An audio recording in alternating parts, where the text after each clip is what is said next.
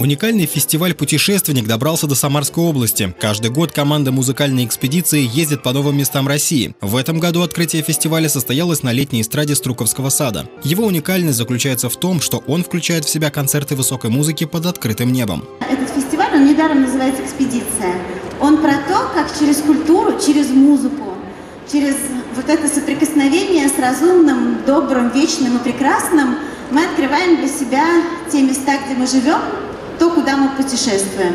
На сцене Струковского сада симфонический оркестр Самарской филармонии исполнил шедевры мировой классики и хиты группы «Моральный кодекс». Лидер группы Сергей Мазаев – известный рок-музыкант и певец, однако в рамках фестиваля он выступил и в качестве инструменталиста, сыграв для слушателей на кларнете. Здесь э, стопроцентные музыканты настоящие, понимаете? Когда вас признают за музыканта, это, это греет душу невероятно. То есть потрясающие музыканты. Мне находиться в них как-то очень даже немножко стыдновато и престижно очень. Зрители становятся нашими соучастниками, независимо от того, где они находятся. Мы стоим на сцене и играем музыку, и все. А где это там?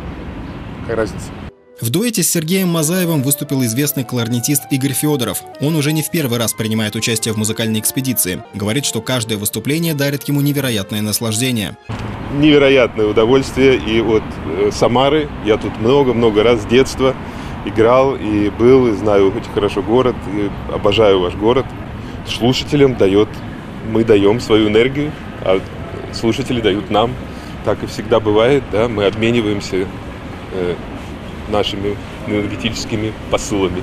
Музыкальная экспедиция проводится с 2014 года. Сначала она проходила только во Владимирской области, но с прошлого года музыканты ездят по всей стране. Заслуженный артист России и арт-директор фестиваля рассказывает, что такой формат позволяет представить широкой аудитории мировую музыкальную классику и расширить ее кругозор. У нас страна такая огромная, и такая труднодоступная история с классической музыкой, но хорошие исполнители, ясное дело, приезжают в столицы регионов.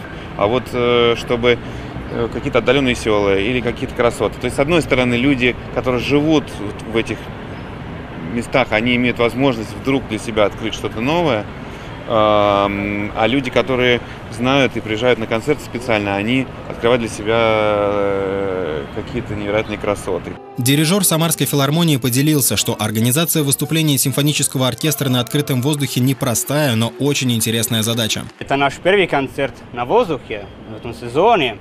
Это интерес, это сложно, насколько может быть и звуки, и за улицы и так далее. Но это очень интересно, мы очень рады сыграть э, на воздухе и тоже играть такой интересный репертуар. У нас очень много всякого разного. У нас из Вивальди, и Равелли, и произведений даже Шостаковича. Музыкальная экспедиция проходит при поддержке Министерства культуры России, Росконцерта, областного правительства, администрации Самары и Тольятти. Продлится фестиваль до 5 июня и охватит сразу несколько локаций в регионе. Заключительный концерт пройдет в Тольятти в парковом комплексе истории техники имени Сахарова. Максим Магомедов, Николай Сидоров. События.